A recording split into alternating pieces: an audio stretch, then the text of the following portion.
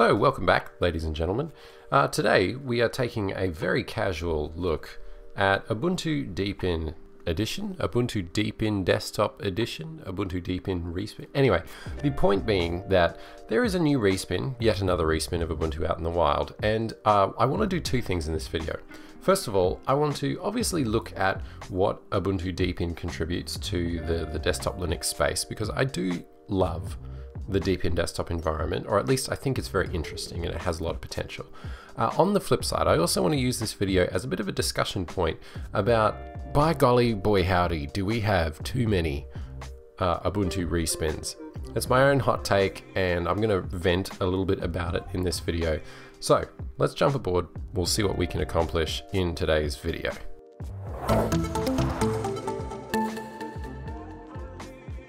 Now, what I do want to say out of the gate is that I'm definitely not here to hate on any particular project. It's definitely not my style. And if you love the Deepin desktop environment and you don't want to use the Deepin uh, operating system and you know its its associated uh, technologies, then the Ubuntu Deepin Respin is like a fantastic option for you.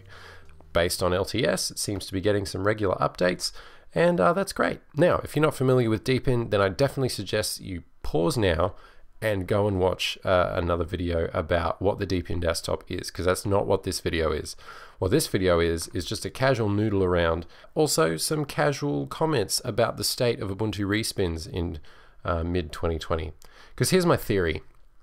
I think that when Ubuntu has a long-term support release, in our case, 2004, uh, all of the respins come running in that uh, people that have a particular passion project see an LTS release as a fantastic opportunity to put it out there in the wild.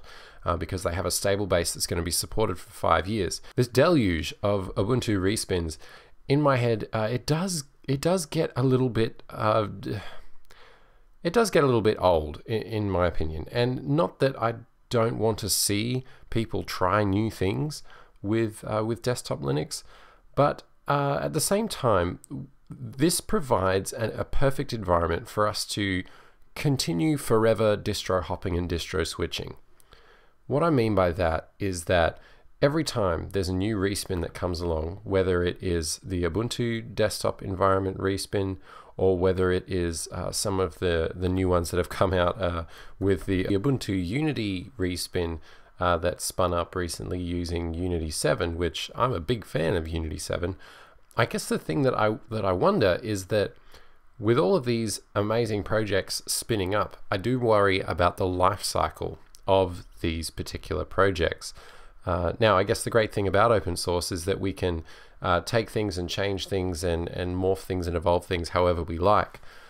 And those things come and go. But I do worry about anyone who gets particularly invested or attached to a particular project like this, where uh, these are the kinds of projects that are usually done very much in the spare time or in the free time of, uh, of uh, enthusiasts and of developers who just want to contribute something. Uh, I don't know. I'm, I really have split opinions about this. Okay, let's talk about Deepin for a second. I'll pause my brain on that one and I'll come back to it. Now, some of the things that are unique about Deepin is that about the Ubuntu Deepin respin is that they do take the the latest stable Deepin desktop, so it's not the absolute cutting edge, latest, greatest uh, v, uh, version 20 of the Deepin desktop that we see teased in beta a lot. Um, it is just the standard uh, 15.x series. So if you're already familiar with what Deepin has as a desktop, then that's great. If not, it basically goes like this. You get a panel at the bottom which can either emulate a dock-like experience centered here in the middle, and that's it, or you can extend this panel out and, uh, and make it a more Windows-esque panel. Uh, now, for me personally, I think I tend to gravitate towards the more Windows-esque layout. You can also change the mode of the app launcher. By default, it is a full screen app launcher, and you simply type away at the top there and you get filtered results.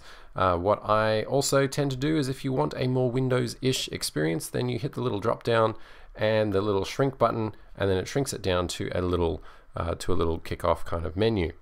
Uh, so I do love Deepin as an environment. I think it, uh, when it doesn't have any of the visual effects turned on, it can be quite efficient. When it comes to system resource usage, it is pretty hefty, being based off a lot of GTK technologies with a little bit of extra um, spit and polish on top, uh, makes for a very smooth and mostly minimalistic uh, sort of experience. But a lot of this, in terms of the desktop shell, is going to change in the next version, in the next major version of the Deepin desktop.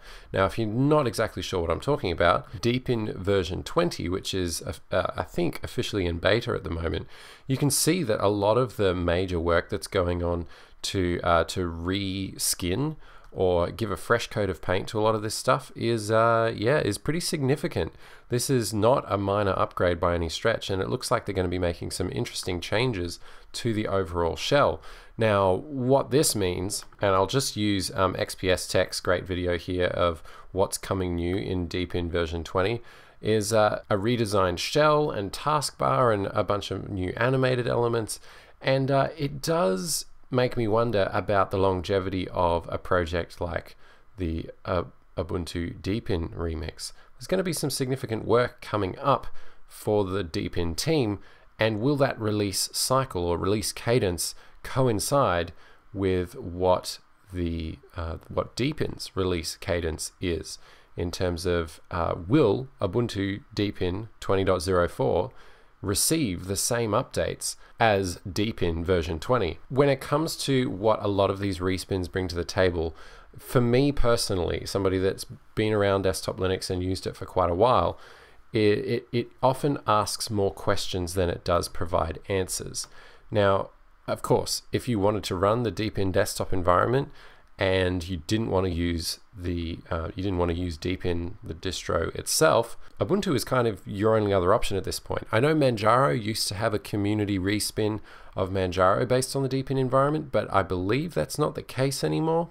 So in Deepin's case, I think they might be justified in having a respin of Ubuntu out there in the wild. Where Deepin comes to shine as a shell is the fact that you can manage most of the settings and most of the tweaking that you want to do in the desktop shell itself without having to open up endless dialog windows. Now I know I've had laptop mode tools here for a while. I think this is just an interesting addition that uh, that seems to be custom to Ubuntu Deepin. I certainly haven't seen it on any other Ubuntu respins uh, as of late.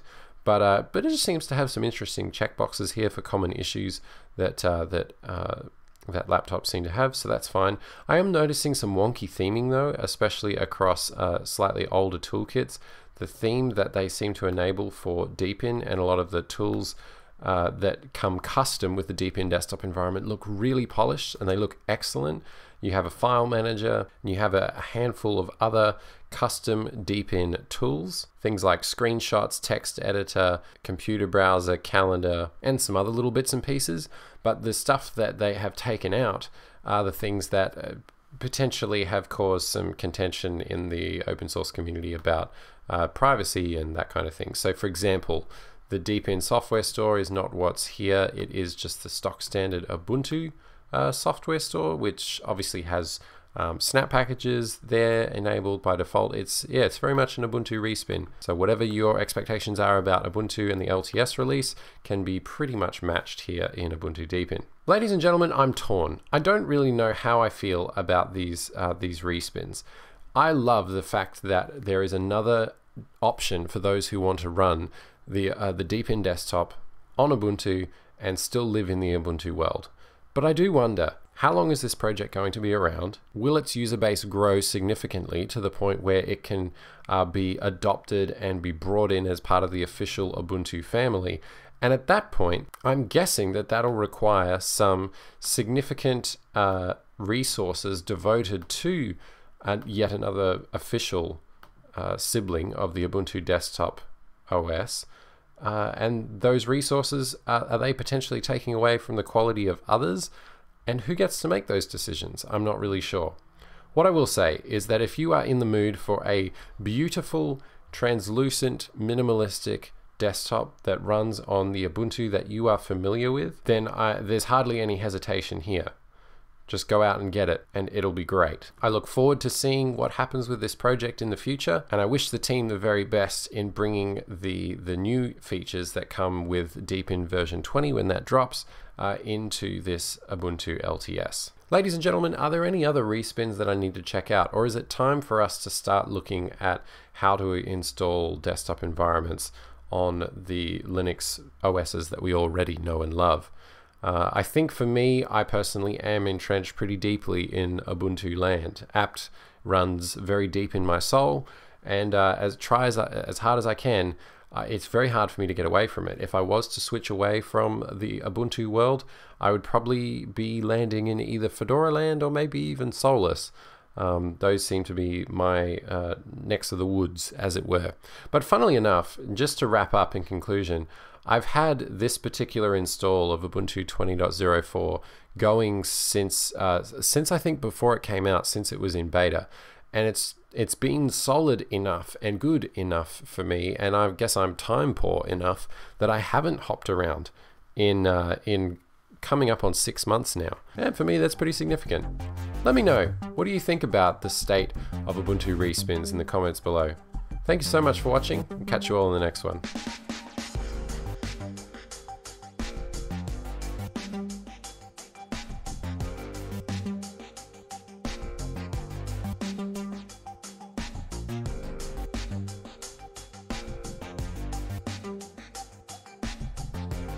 Thank you. Thank you.